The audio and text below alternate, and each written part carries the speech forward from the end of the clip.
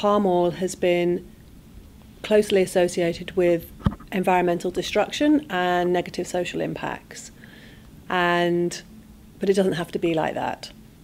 So in 2004, industry and NGOs got together to make a difference and to turn the production of palm oil into the sustainable production of palm oil. And the ambition is to make this the norm for the global trade, for the global market in palm oil.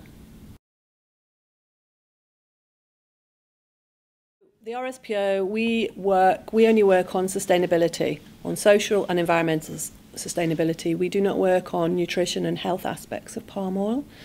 Um, but from the, the personal care and the cosmetics industry, because because people care about the ingredients that go onto the lipstick, they don't want to be wearing lipstick that might be a, associated with um, destruction of valuable rainforests, for example. Well, we have a very comprehensive set of criteria which palm oil growers can become certified against. They can sell their palm oil as certified sustainable palm oil, and then the, the buyers, for example in Europe, can buy it as certified sustainable palm oil. And the more we buy, the more that more can be produced as certified sustainable. So it's a, a supply and demand uh, voluntary initiative. You know, all pretty much all experts agree that the best alternative to unsustainable palm oil is sustainable palm oil. That boycotting palm oil or looking for you know substitution of palm oil is not the solution. Palm oil is the most by far high highest yielding of the edible oil crops. And so, in a world where we're facing the huge population rises that we are facing and where we need the land, then the consensus is that palm oil is here to stay.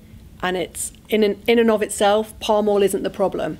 The problem is the way in which palm oil has been produced and continues to be produced by many, many producers unsustainably. Let's remember that the RSPO is successful, but we still only can claim 16% of the market, so there's still 84% that's being produced to unsustainable standards, and that's what we want to focus on, growing that 16%. The food sector represents the sector that uses the most palm oil um, compared to other sectors. So we can get quite a lot of, um, you know, quick wins, if you like, from making progress in the food sector. Mm. But there's also the personal care and the cosmetics sector. They, um, they use much less palm oil derived ingredients, but they're still, you know, important to work with. There's the hospitality sector um, and catering, and then there's the animal food sector as well as the other main sector that uses palm derived ingredients that goes into animal feed. So the transformation of the palm oil supply chain is taking place partially through what the consumer wants and the reputational risks that companies perceive um, and their social license to operate. Um, and they want to transform their palm oil supply chain to be in accordance with people's ethics. But at the same time, we can say that the business case for a consumer driven change is quite limited and actually um, it's really up to companies to become responsible companies and to do the choice editing to make those changes on behalf of their consumers who may be aware, but mostly they're probably quite unaware of the issues around palm oil. But as responsible stakeholders, they're, they're making those changes um, anyway. The main incentives for businesses to make the changes are supply chain risks and reputational risks. They may have made uh, public policy commitments to, for example, climate change, and so by sourcing sustainable palm oil, that's also helping them meet their commitments. Um, but it, it's hard to say to what extent consumers are driving this. And I, I, I think it's agreed that it's mainly businesses that are driving the change. However, at the end of this year, there will be some food information for consumer regulations, EU regulations.